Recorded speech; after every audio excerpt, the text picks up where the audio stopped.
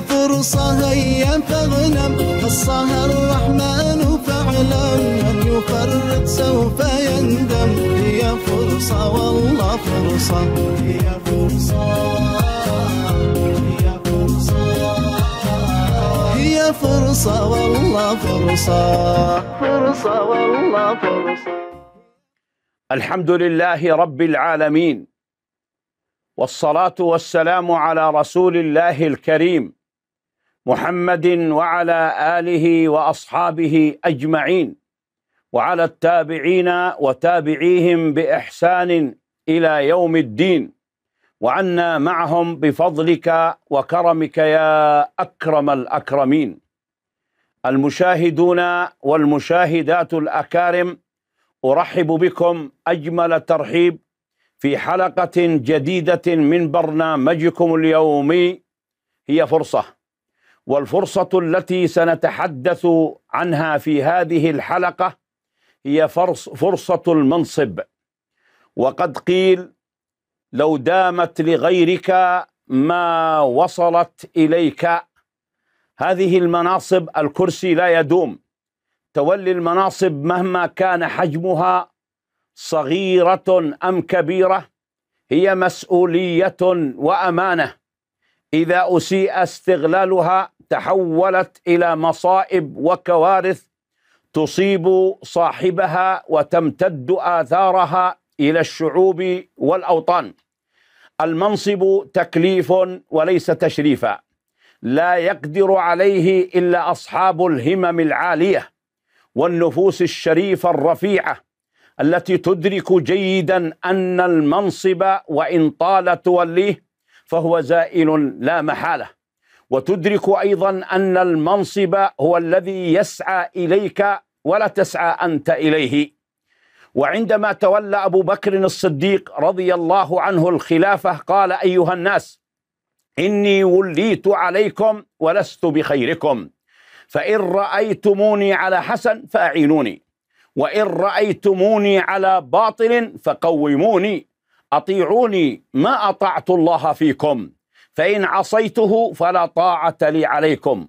ألا إن أقواكم عندي الضعيف حتى آخذ الحق له. وأضعفكم, وأضعفكم عندي القوي حتى آخذ الحق منه. الإسلام يحرر استغلال المناصب لتحقيق أهداف ومصالح شخصية ومنافع ذاتية. وأوجب أداء الأمانة بمختلف أشكالها. ويجدر بمن تولى مسؤولية المنصب أن يكون على علم ومعرفة وخبرة كافية. تمكنه من تحقيق آمال وطموحات وطنه ومواطنيه لقد وضع الإسلام اسسا وقواعد متينة لتولي المنصب والأعمال. من بينها الأمانة والعلم والكفاءة والمقدرة. فلا يجوز عند تولي المناصب أن يكون الاختيار قائما على أساس من اللون أو الجنس أو انتماءات معينة أو صلة القرابة أو الصداقة أو المعرفة أو العلاقات أو الأهواء الشخصية بل يكون الأساس في اختيار الأصلح. والأقدر على تولي المسؤولية. المنصب قائما على أسس متينة من الأمانة والعلم والمقدرة والكفاءة. فعن أبي ذر رضي الله عنه قال قلت يا رسول الله ألا تستعملني؟ أي ألا تجعلني واليا أو أميرا على إحدى المدن؟ فقال أبو ذر فضرب بيده صلى الله عليه وسلم على منكبي. ثم قال يا أبا ذر إنك ضعيف وإنها أمانة وإنها يوم القيامة خزي وندامة وإنها يوم القيامة خزي وندامة إلا من أخذها بحقها وأدى الذي عليه فيها. أخرجه الإمام مسلم. وبعد أن تولى عمر بن الخطاب رضي الله عنه الخلافة قال اللهم إني شديد فليني وإني ضعيف فقوني وإني بخيل فسخني. وقد أخبر النبي صلى الله عليه وسلم بأنه إذا ضيعت الأمانة فانتظر الساعة وضياع الأمانة إنما يكون بأن يتولى الرويبضات المسؤولية الرويبضات هم السفهاء الذين يتكلمون في أمر العامة.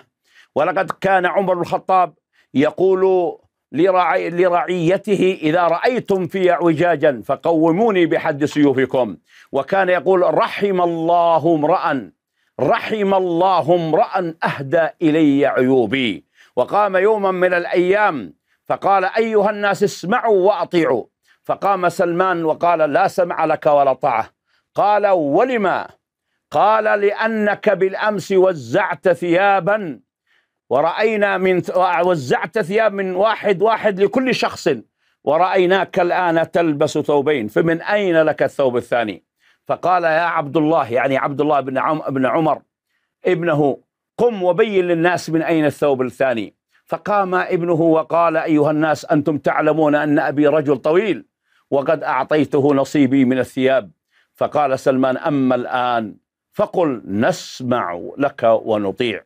وهو الرجل الذي كان يقول والله لو عثرت والله لو عثرت بغلة في العراق لسألني الله عز وجل عن عنها لم لم تسوي لها الطريق يا عمر؟